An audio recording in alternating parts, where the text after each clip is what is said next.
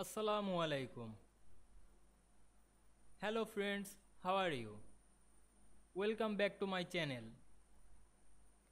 In this video I am going to show you how to change font color in table of content in Word. Let's get started. First we will open our Word document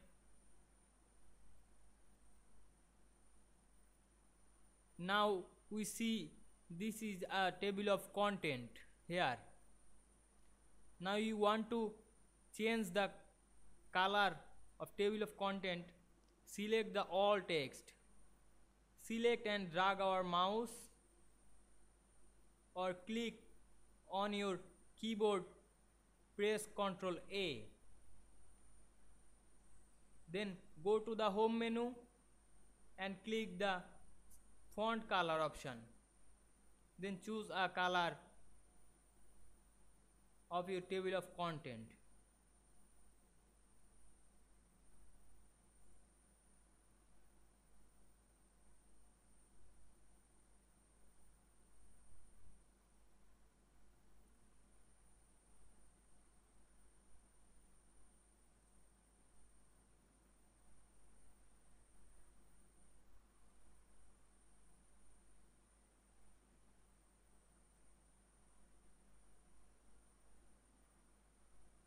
I hope you enjoy this video. Please like, comment, share and subscribe my channel. Thanks for watching.